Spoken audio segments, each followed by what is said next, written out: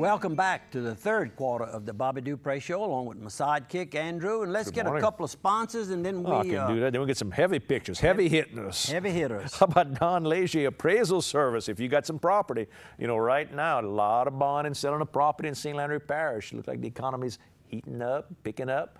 Uh, you got to get your piece of property appraised. Maybe you're going to buy a piece of property. Maybe you're trying to sell a piece of property. Get Don Leger involved. He'll go by and take a look around. He's good at commercial. He's good at, at, at personal, home type things. Maybe you got a subdivision you're working on, an apartment complex. He can help you with all those types of appraisals. Don't just think about him in St. Landry Give Parish. you some ideas of what you can ask in, in when you develop in a little subdivision. He can give you some Absolutely. What the what they sold. for. Comparables. How do you spell that? Comparables. That's the word they like to use maybe in the a business. 10 mile area. That's right. He's got the records. But remember, he handles all throughout Acadiana. So if you're in St. Landry, Lafayette, St. Martin, Acadia, Evangeline, Iberia, Vermilion parishes, let me tell you, Don can help you. And he's got over 30 years of business handling. He's owned, bought, sold rental properties himself. So he's not just a guy who talks about it. He's a guy that's lived it and worked it. So give Don a holler. And let's go with Targil Seasoning. If you're looking for seasoning and supplies, Targil can help you. But not just that, they've got butcher supplies, cutlery, kitchen supplies. If you're a restaurant, a, a grocery store, a caterer, an outdoor kitchen kind of guy, a camp guy, just somebody in the house, they've got stuff for you. Uh, sausage stuffers, uh, cake baking classes uh, for kids and for adults, and cake decorating Black classes. pots of all Black pots, sizes. uh, your scales, they're good, high quality chopping blocks. You know, you're always worried about, you know, uh, is that chopping block, block clean? You don't want to catch that. What my buddy used to say, that chicken eating disease, that salmonella. He said, that's how he would say it. You know, you want to have good things that you can clean and keep clean and are, are good restaurant quality, even for your home. You know, to be safe with your own Oh, food preparation. I have some at my house That's exactly it. And they've got the certified knives, they've got the certified uh, chopping blocks. Go buy Targil. Good on the budget. Targil.com. Man, I did that right now. How about some yeah. photos? yes, sir. How about this one? Right out the gate, I see Bobby we- Dupre, Morgan Goudeau. I'm going from right to left. Right to left. Helen Goudeau, Angele, uh, Morgan's daughter. And then we've got uh, Edwin Edwards, Edwards. and we've got his lovely wife, Trina. Trina. And uh, of course, uh, since that picture was taken, uh, as of Monday at noon, uh, Governor Edwards has officially uh, announced uh, that he is a candidate for Congress, and that's the sixth congressional district. And uh, they uh, are saying it's going to be a hard race for him to win. Well, I don't think he looks at it like that at all. He looks at it as people. He doesn't look at them. They say, well, it's heavily Republican. Well, most of those Republicans were Democrats, and he helped a lot of those is true. people. They saw the improvements made in their hometowns they mm. lived in, in their parish, in their communities. So they're gonna think then and and he tells them all about this trouble he got in and all of that. And if you can believe some of those stories that were told against him, but we can't re- redo it. He did his time, and uh, he he doesn't hide. He comes out right away with that fact. And then let's get on to what he can do now. Let me tell you something. He gave the speech uh, at this Democratic Party last. That, that, that's where this was held last Thursday night, and I'm telling you, he he came out with some real strong facts, and he's just as sharp and witty as he ever ever was. And some one-liners, for uh, sure. And they better they better be watching him because uh, he uh, will make the runoff. There will be a runoff because there's probably six or eight Republicans running, Mm-hmm. and I don't know if there's any other Democrats. Maybe maybe one or two. I'm not sure, but it's going to be a wide open race, and I I just uh, feel pretty confident that he'll be in the runoff. And he helped me. I'm prejudiced. Maybe I'm going to be upfront with you. Well, sure. And on September the 1st, 1972, he appointed me to the Insurance Rating Commission Board. Mm-hmm. And I got, he didn't ever call anybody, you need to give Bobby a contract. or- I mean, he got the, gave me the appointment, and I made a lot of friends, and look where I am today. So Mm-hmm. certainly, I'd be very irresponsible and not very trustworthy if I didn't speak well about the man, what he did for me personally. And I always thank another person who asked me to ride with him to the meeting that I attended on Sep- that I went- that got me the appointment, and that's Warner Vayon, No kidding. From major Eunice. Stockholder from Tri Parish Bank in Eunice, Louisiana. He doesn't like, no, I just asked you to ride. And I said, well, you did, that's true. But before I left there, I had three out of the six people already agreeing to sign a letter. That's all I did. I signed a letter and, and brought it to, and uh, give it to the infamous uh, Clyde Vidrine. And never heard a thing about it until the day before September the 1st. And then you got the call that you got the got the call, got the appointment. Now, the six people that had uh, signed on it, they knew about it. Right. He called them personally and told. I mean, he he was as smooth as, as you know. He he knew how to work and make you. I don't know, feel good. You know. He, and work with people. He could bring he could bring diverse groups together. Sure, Mm-hmm. we had black and whites on that uh, list uh, way back then in '72. You know. Which which wasn't as easy at that time. No, and anyhow, uh, thank you uh, both, and of course Morgan. In the bail bond business, you need to be in close with the district attorney, and uh, Governor Edwards helped me. So uh, let's get on to something All else. right, how about this? We got uh, our friends Lionel Melanson on the left, and, and the Simeon brothers, uh, Little Joe on in the middle, and Raymond over on the right. And Ray, Raymond's doing what? He's, he's a he's a driver. He's Well, he, he, he owns a couple of hotshot trucks. that's what he does. And we got Little Joe that works with a parish government. Parish government. Look like little Joe's got a new uh, do, hairdo.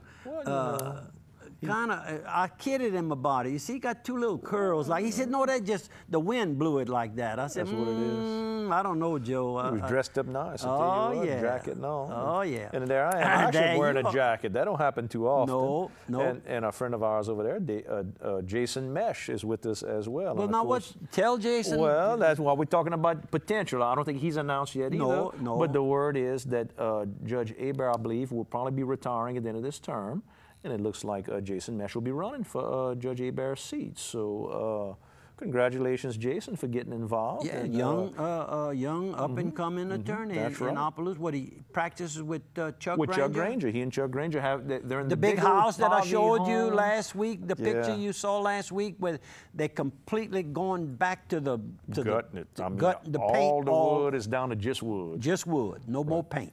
So uh, take care, Jason. Good and good luck, Jason. That's right. And we've got this picture. Okay, that's uh, some young ladies that work for Miss Susan LaFleur. Uh, Mm-hmm. Susan, of course, has a physical therapy and she specializes in occupational therapy. And the young uh, lady sitting down is uh, Chastity Quirk from the Washington area, where the Quirks live out there on uh, Highway what 10 Mm-hmm. uh, north of uh, Washington. And uh, Candace uh, Malvo standing, two sweet, sweet little ladies. I, I bring Vicky there for her uh, therapy, and uh, that's the two that greet us at the front door. And then we're going to show another picture where uh, Vicky is uh, being uh, treated with some uh, what What, what do they call it? Electro electrotherapy, where it's sort of like acupuncture, but they use electricity to uh, yeah, stimulate but, the muscles. but the needles and everything The are, are are- are set. Oh, Oh, yeah? yeah, no, no, No it's kidding. all needles. That's right. But Man. it is controlled. You see, she's controlling how much. Uh, How much guess juice? Juice you can she can take right there, but it worked real good. She not, was not as very bad as old satisfied. Sparky. There. Not as bad as old Sparky in Angola. They- And then uh, let's see the rest of the. Uh, there's the staff. Uh, There you. Vicky standing on the left in the green, and then uh, Susan, uh, the owner of the therapist, uh, and she also Susan LaFleur. teaches Lafleur. She also teaches. And uh, they do the intern work there, and one of them is uh, Mamie in the uh, pink uh, outfit, and the blue outfit is Casey, and all the way on the right uh, is uh, Shelley Bellard, and that's Tim Bellard. You, we talk about uh, Targil and uh, Bellard's Poultry and all of that. Well, that Tim is one of the members of that uh, firm that was set up by their daddy, Mr. A.C. Bellard, who's kind of taking a seat back and just watching them all. And by the way, you know another thing happened, and we never talked about it because it was not put, I don't know, I, I just didn't, it, it slipped by me, but Mr. AC said it is correct.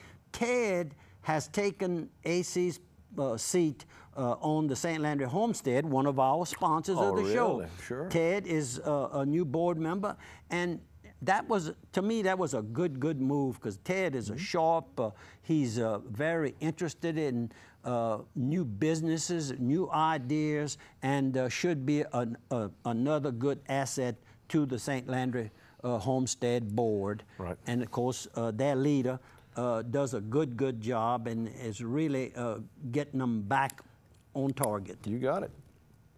And we got uh, Okay, that St. was uh, Patrick's Day. St. Patrick's Day. This shirt was purchased uh, in Ireland, in Dublin, Ireland. Uh-huh. I guess it's when I Irish- made that trip over there. I guess it's the Irish national uh, soccer team. I guess is what that is, or one of the soccer I clubs guess there. so, and that's My little boy could beautiful. That's not just uh, that. That's uh, embro- uh, embossed uh, lettering Uh-huh. on that. Beautiful, expensive shirt. I'm sure. I don't remember. Maybe somebody gave it to me. Maybe uh, that was all state trip. I think. Maybe they gave me that uh, There you go. shirt.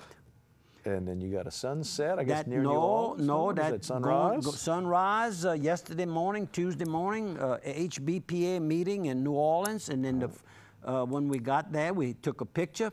Uh, all, the way on the left, a, a person who was hired about a year, year and a half, well, a little over a year ago, Keith G. He's an attorney. He's uh, the ex- executive uh, director uh, of the day-to-day operations of the HBPA, hired, uh, and in that position. And then in the middle is a longtime friend, Don Stemmons, with Stemmons uh, Horse Supply in Carencro, Louisiana, and of course Bobby Dupre all the way on the right.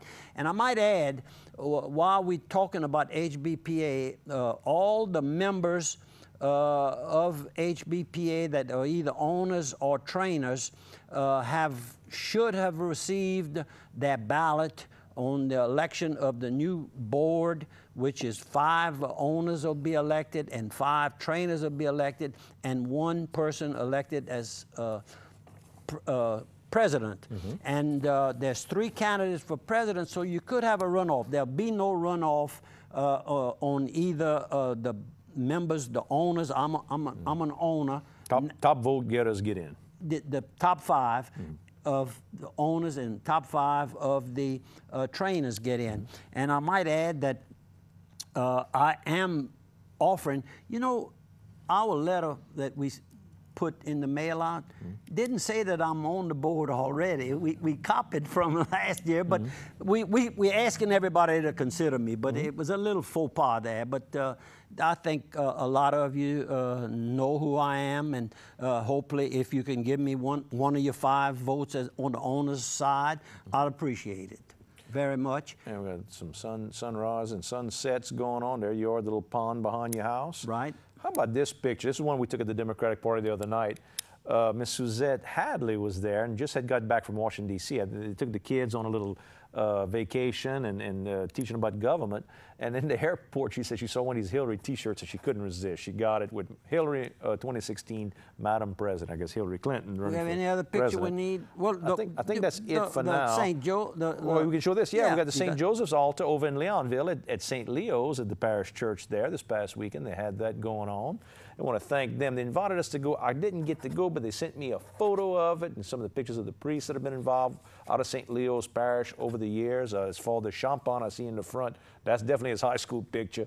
And in the back, a little older picture of uh, Father Mallet, who uh, he and I graduated uh, high school about the same time. So, good morning, guys, and beautiful job there again. And I heard uh, uh, Paul DeCapo was the chef for the afterwards. You know, they do a big meal, a big spaghetti meal, and Paul DeCapo did it. Mm-hmm, Oh, well, he's been he knows how. That's that. right. Good That's Italian right. from Melville. But we're going to go ahead and take a break. We'll see you folks on the other side of one minute.